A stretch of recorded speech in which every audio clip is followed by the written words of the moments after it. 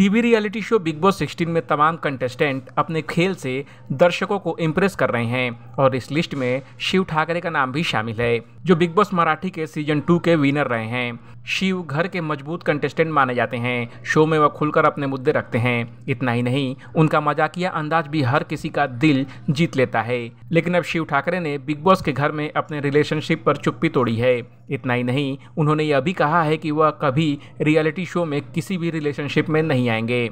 दरअसल बीते एपिसोड में शिव ठाकरे, टीना दत्ता और साजिद खान से बात करते हुए नज़र आए। इस दौरान शिव ने बताया कि मराठी बिग बॉस में उनके साथ एक कंटेस्टेंट थी, जिनका नाम वीना जगताप है।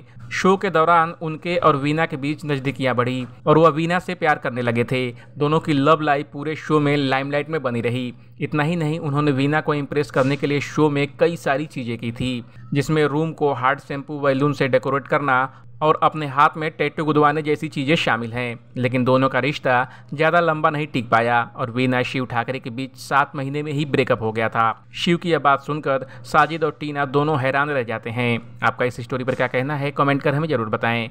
बॉलीवुड और एंटरटेनमेंट की खबरों के लिए देखते रहिए ए बी वी एंटरटेनमेंट